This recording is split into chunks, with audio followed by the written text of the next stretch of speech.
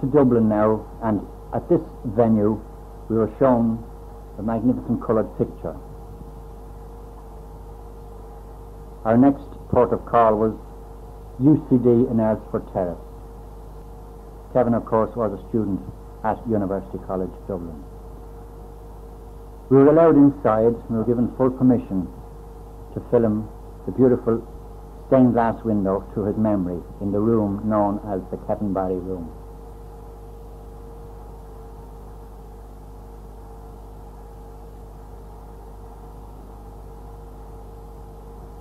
Here in this window can be seen all the different episodes in his life.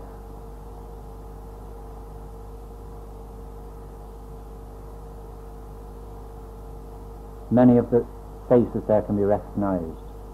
Pearse, Plunkett, Connolly, and many others.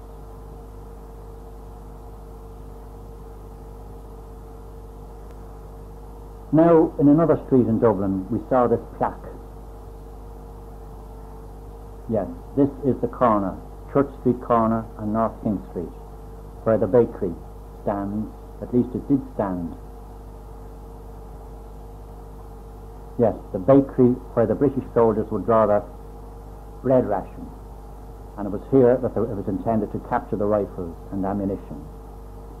Here in the corner, this woman who was present at, on that occasion is showing the exact spot where Kevin was captured. The bakery, of course, has been knocked down now. And so before it finally vanished, we ourselves were able to clean up the plaque so that we could read it.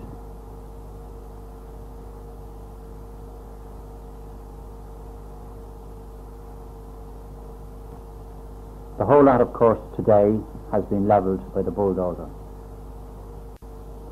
Now, our next venue was the Richmond Barracks, which is just up opposite to St. Brendan's Hospital, or Grangegorman as we know it. This is where we believed Kevin Barry was imprisoned after his capture. There's the doorway. Inside in the room, as much of it as we could film. The window looking in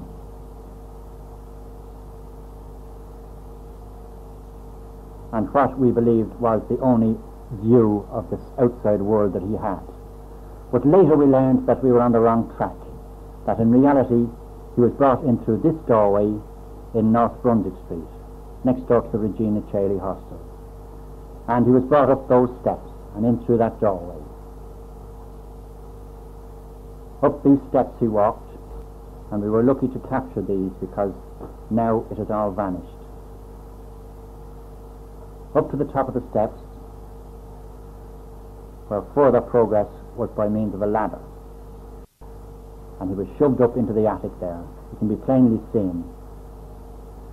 Next, we had a journey to this establishment, Mountjoy Jail. In through this door he was brought eventually.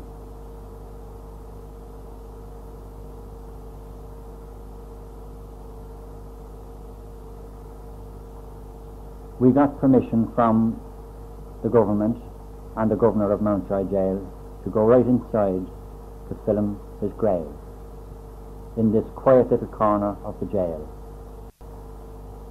There are many other graves there. Some of the men who were captured in what is known as the Knocklong Rescue. Another man who refused to go out with the other three men from Kilmainham Jail. He also lies here and Kevin has a grave on his own.